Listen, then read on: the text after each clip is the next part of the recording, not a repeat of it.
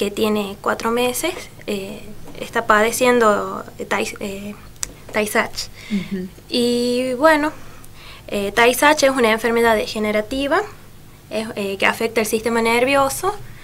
esto se debe a que el cuerpo no genera una proteína que es la encargada de descomponer los grupos químicos que libera la actividad cerebral.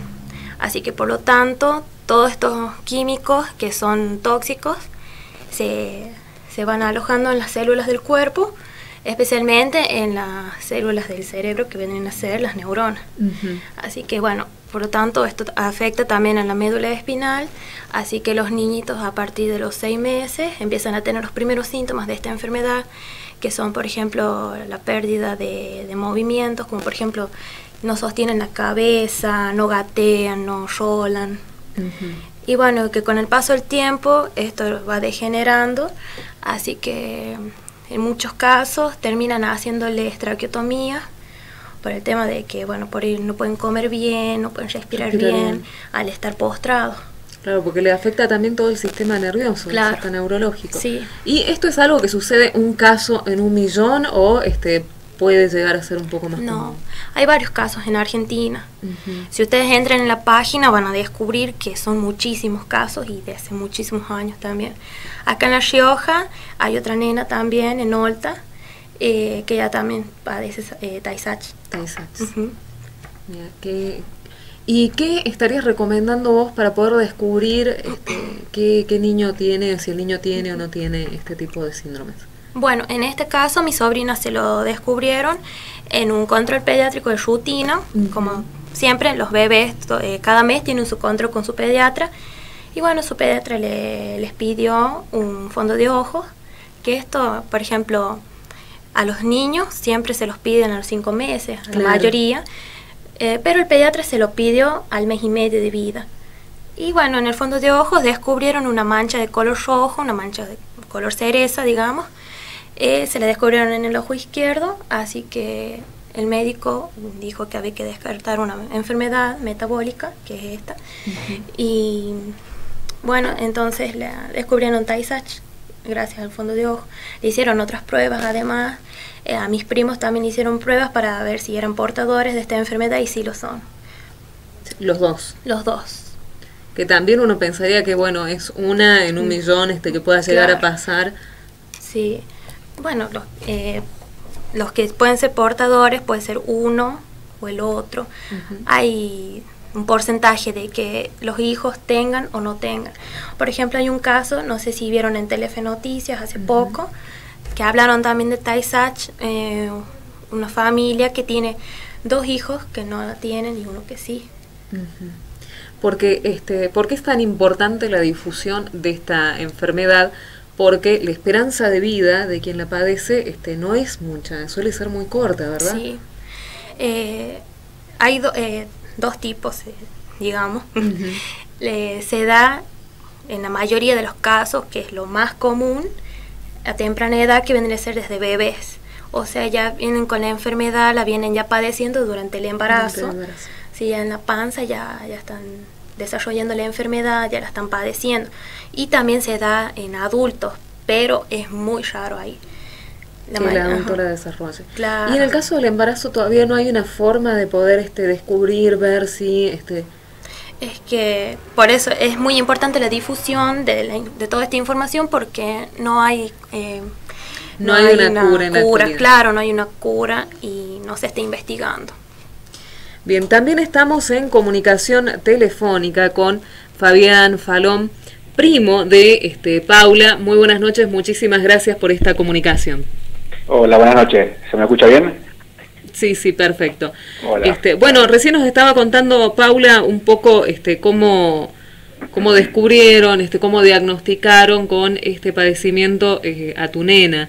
Este, ¿Podrías comentarnos un poco más de qué se trata la Fundación Cutasa? Sí, eh, bueno, como, como explicó Pauli, eh, mi prima, eh, bueno, Tay es una enfermedad eh, poco frecuente o rara, es una enfermedad herencia, es, hereditaria, genética, y lo que causa prácticamente es que, o sea, lo, que pasa es que le falta una enzima a las personas que la padecen, que es la enzima que descompone todos los residuos que, el cerebro va, va, dejando.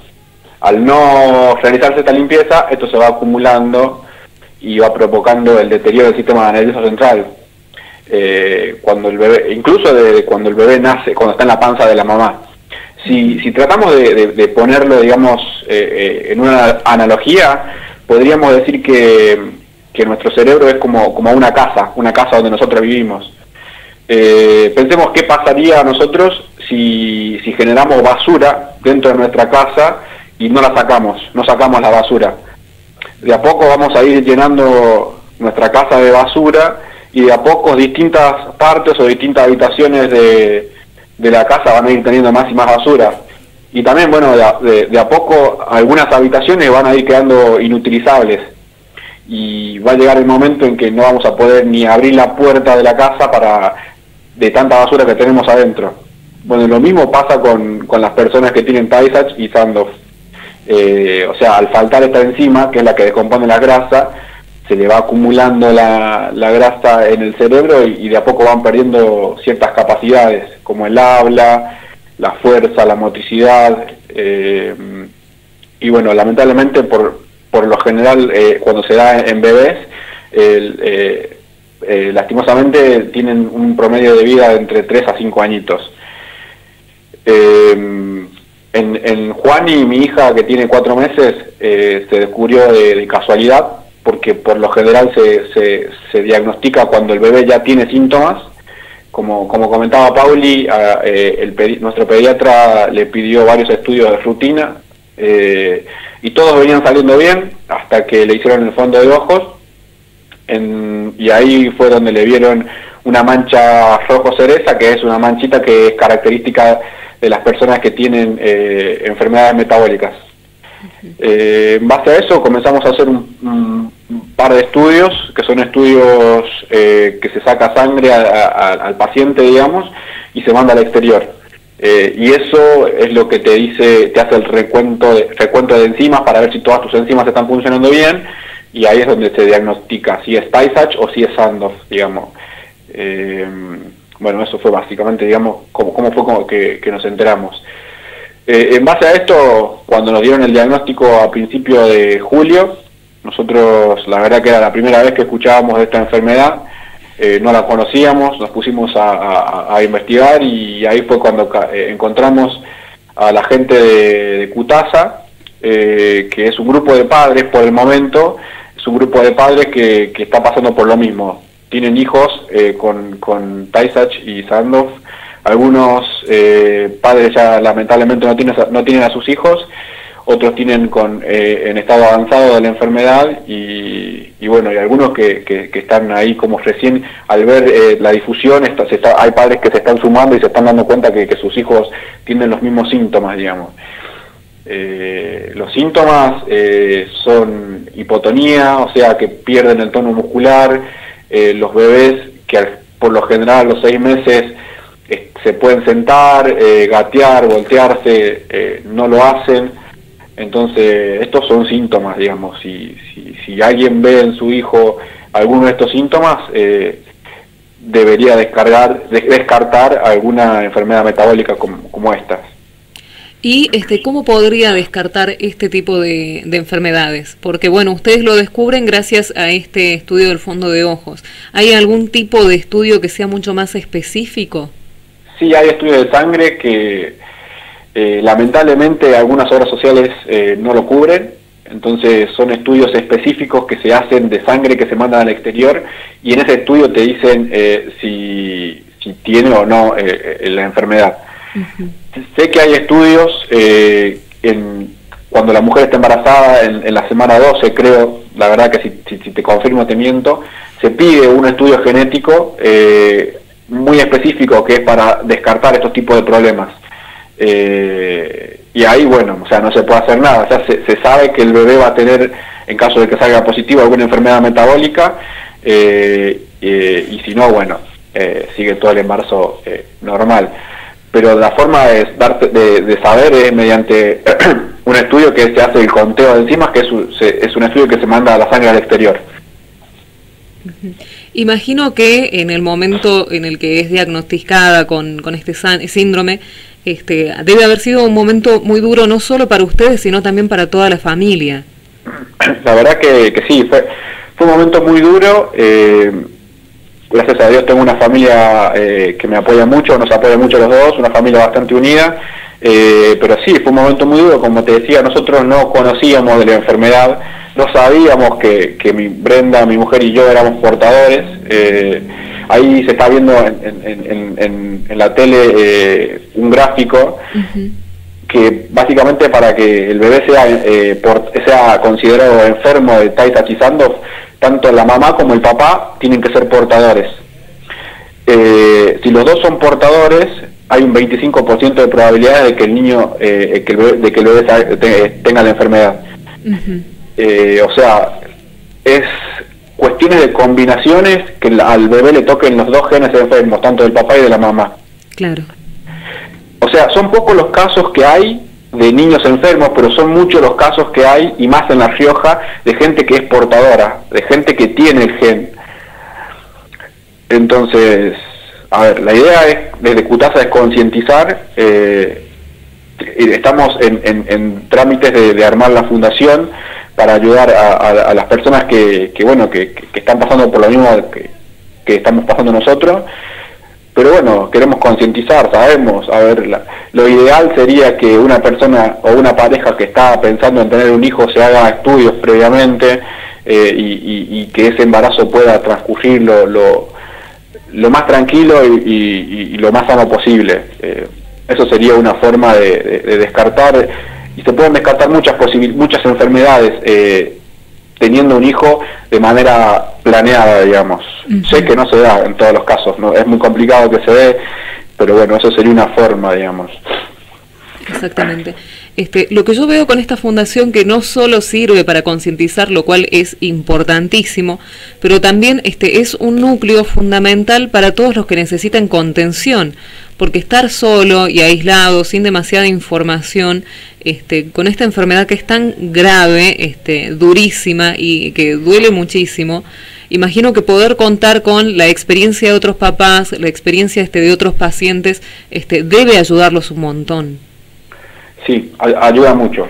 Suma, eh, hay padres que, bueno, como te decía, tienen a sus hijos con, la enfermedad más avanzada y ellos nos fueron recomendando médicos, nos van recomendando médicos, o sea, si vos sos de... Nosotros somos de Las Riojas, pero estamos viviendo en Buenos Aires.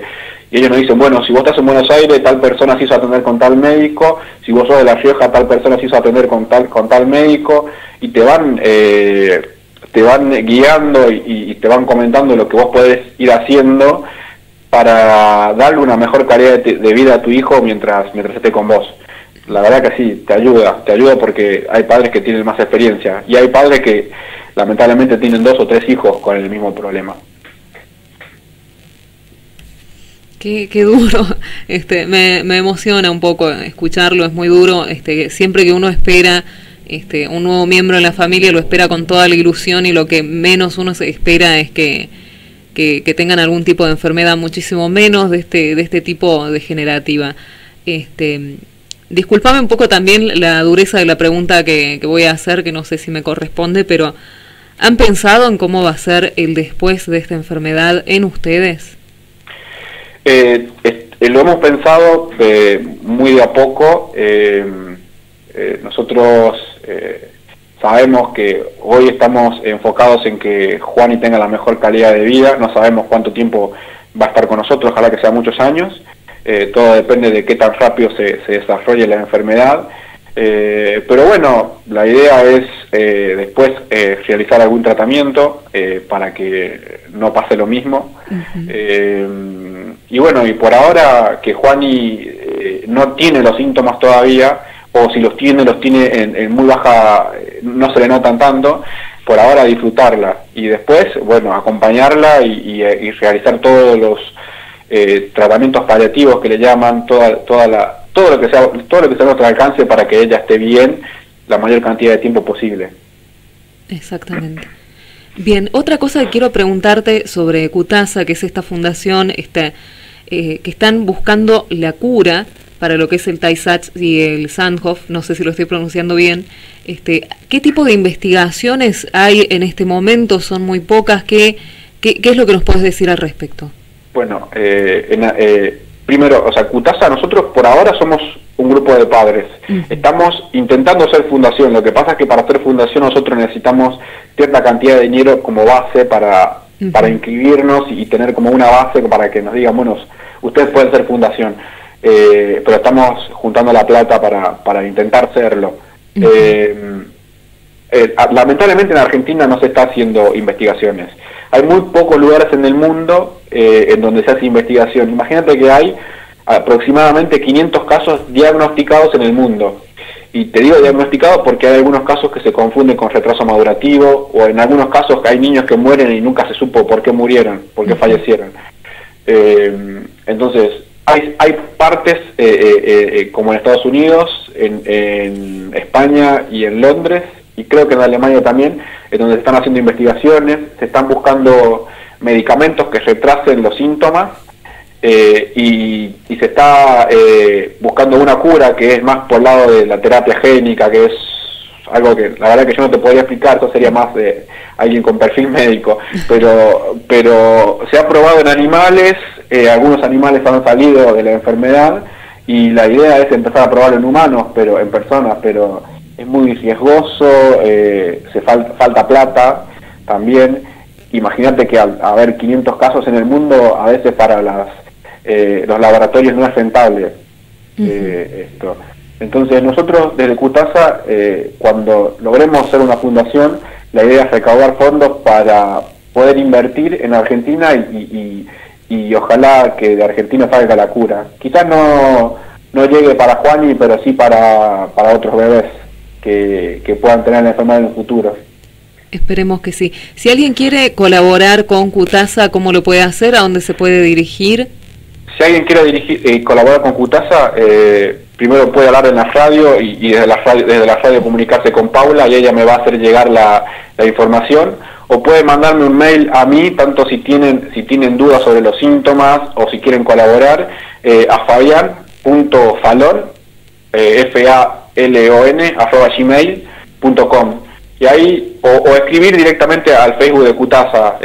la verdad que entre los padres estamos eh, los padres de Cutasa estamos muy comunicados y, cualquier caso nuevo que surge nosotros eh, eh, vamos, vamos hablando, pero o me hablan a mí o hablan a la radio misma y se comunican con Paula, mi prima, o si no, hablan directamente al Face de, de, Cutasa o en Instagram y en Twitter también, estamos en las tres redes sociales. Bien, comentabas también al principio de la entrevista, y por lo que estoy viendo en la página cutasa.com.ar, este, Cutasa nace recién en junio de este año y a estas alturas, ¿cuántos padres son? A estas alturas tenemos 36 niños eh, diagnosticados, eh, entre los que están con nosotros y los que, eh, los que se ganaron sus alas, como decimos nosotros, los que ya están en el, cielo y dejaron de, de sufrir con esta enfermedad. Hasta el momento hay 36 casos diagnosticados. Eh, tanto de Taisach y Sandoff, eh, y bueno, ya sea Taisach eh, en, bebés, también está, la, también está Taisach en, adolescentes, que es que se, despierta, la enfermedad se despierta después. pero hasta el momento, como te decía, 36 casos. Son 36 entonces este, las familias que están unidas en esta, en esta fundación que esperemos que logre serlo muy pronto y que se encuentre la cura para este tipo de enfermedades y que puedan tener una vida plena como cualquier persona este, quienes las padecen. Fabián, desde aquí te mandamos un fuerte abrazo, este, nos emocionó muchísimo tu historia. Eh, cuenten con la radio, cuenten con nosotros este, para cualquier tipo de difusión que quieran hacer al respecto, me parece importantísimo, sobre todo cuando se trata de niños y de familias que están vinculados por algo tan triste como es una enfermedad. Bueno, muchísimas gracias a ustedes por ayudarnos a difundir. Eh, la verdad que nos sirve mucho difundir y más en La Rioja, donde es uno de los lugares en, donde más casos hay, eh, y Córdoba también. Eh, y bueno, hay que concientizar y, ayudar, ayudar a los chicos que están en La Rioja, que, que son tres o cuatro casos, y hay niños que no tienen ni hora social. Eh, o sea que ayudar, eh, aunque sea a los chicos que estén en La Rioja, y, después eh, ir viendo en, los otros lugares. Pero sí, muchas gracias por, por, darnos la posibilidad y el, y el espacio para, para difundir. Muchísimas gracias, este, Fabián, a vos por darte el tiempo, por poder este, también ayudarnos a difundir.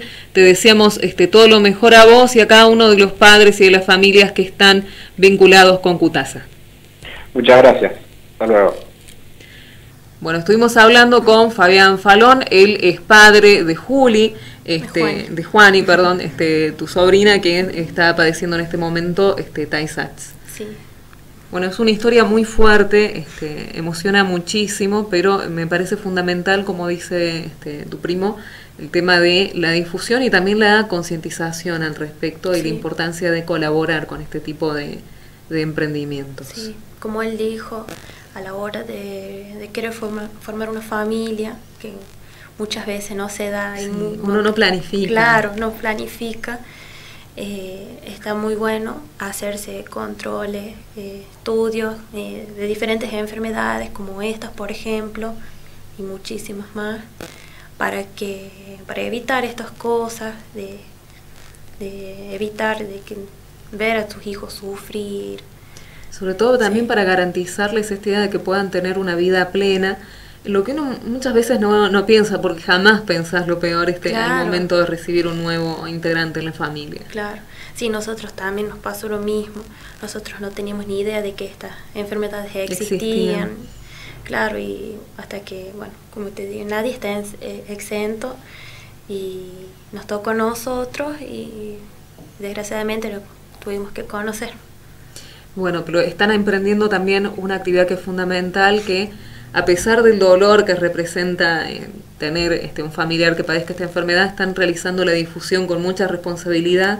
Así que desde la radio, desde este, Paula, eh, invitamos a todos los que quieran colaborar con Cutasa para que puedan este, conformarse como una fundación como tal, para que puedan invertir ese dinero no solo en ayudar a estos niños que nos decía recién Fabián que no tienen obra social, sino también este, para colaborar y que se puede invertir en investigación para que estos niños puedan tener una vida mucho más plena y se pueda encontrar la cura. Paula, muchísimas gracias por estar con nosotros, muchísimas gracias por la valentía de ambos, tanto tuya como de tu primo, de compartir una historia que es dolorosísima. Muchas gracias a vos por brindarnos este espacio y ayudarnos a difundir. Bueno, los esperamos este, cuando quieran para nuevas novedades. Este, para seguir este, compartiendo esta historia que esperamos que este, tenga noticias mucho más este, motivadoras y que ayuden este, al futuro de todos los que padecen estos síndromes. 20 horas 55 minutos, nosotros somos CNC Noticias, te hacemos compañía hasta la hora 21.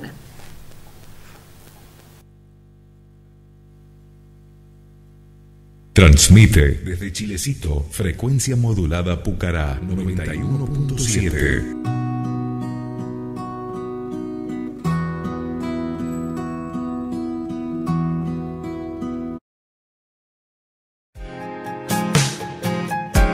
Dulce Mía, en Adolfo Dávila 32. Vestido para fiesta, bluseras, calzados, carteras, mochilas, liquidación hasta agotar stock.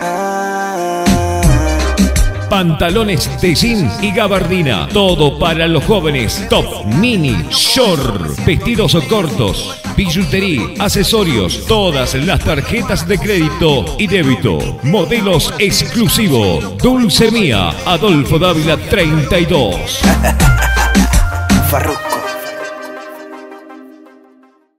Con la promo Metele más chances, gana siempre. Cada vez que usas los canales electrónicos de Banco Rioja, estás participando. Todos los meses sorteamos televisores, smartphones y tablets. ¿Querés ser el próximo ganador? ¡Anímate a usarlo! Conoce más en www.bancorrioja.com.ar. Banco Rioja, con vos, cada día. DAPSA es eh, una empresa petrolera especializada en downstream. Nos especializamos en servicios industriales, servicios logísticos y la comercialización de combustibles eh, y derivados de petróleo. Hoy estamos aquí para presentar nuestra propuesta de desarrollo de nuestra red de estaciones de bandera con nuestra nueva marca o renovación de la marca de DAPSA. Este año pensamos en banderar 50 estaciones de servicio, pensamos es decir, a finalizar el año tener 150 contratos firmados y hacia el final de 2020 tener 150 embanderadas y al final de 2021 un piso de 300 estaciones. Estas estaciones están localizadas a nivel regional en todo el país. Si